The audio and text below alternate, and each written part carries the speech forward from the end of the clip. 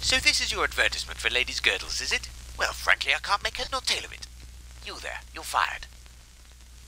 Hello, I'm coming in.